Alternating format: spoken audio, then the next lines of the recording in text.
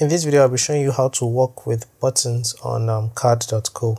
So this is the template that I'll be working with. If you don't know how to access templates, all you need to do is to head over to your dashboard, log in, and um, if you have a site you're already working on, then you just click on the pencil icon. But if you don't, you come over here to new site and you select a template you want to work with and you can continue from there. Alright, so I'm going to continue on this site. And uh, for this tutorial, I want to place a button under this text that will take me to maybe google.com. Let's work with that. So what I'll do first is click here and then I'll click buttons. As you can see, the button has been added to the bottom of the page. All I have to do now is just drag it to the top. So to drag it, I can click and hold, and then I'm just going to slide it up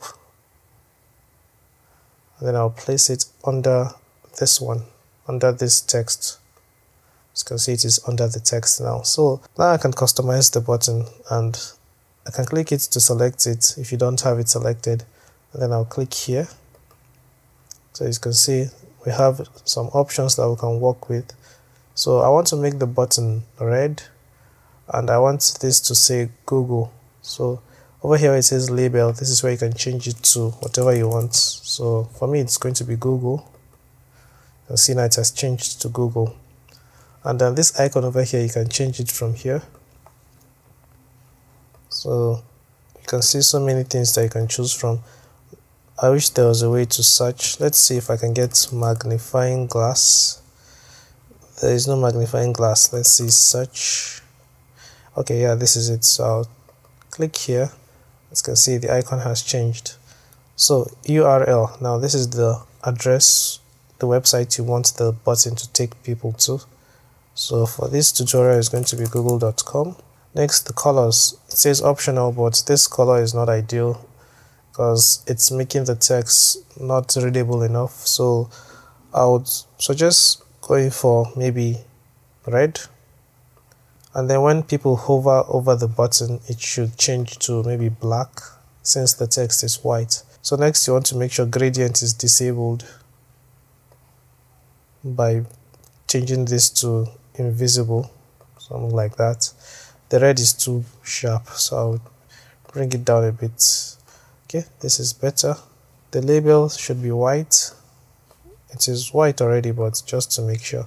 And the icon is also white so the icon is this magnifying glass. So we are done with the basic customization. Next you can come over here and you can change some stuff. So you can change the style to outline. It's going to get rid of the color or solid to give it a color. If you can get rid of the icon by going for label only you can see google is now the only thing visible. Or you can add both. So choose the way you want. There are so many options here. So I'll go for this one or let's do it this way. Yeah, this one is better.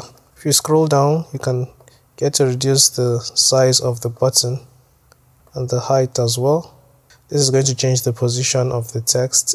Finally you can give it a round border. So if I click done you see this is how it looks like now. You can change the font the size of the text. You can make it big or small. You can also make it bold and so many things over here. So all you have to do is just play around with the options until it looks the way you want. And after you're done you just click done and as you can see this is it. So if I save this page and I click view site you can see the button here so if I click on it it should take me to google.com alright so that's how you create and work with buttons. If there are specific things you're looking to do with buttons you can ask me in the comments and uh, I'll try to make a video on it.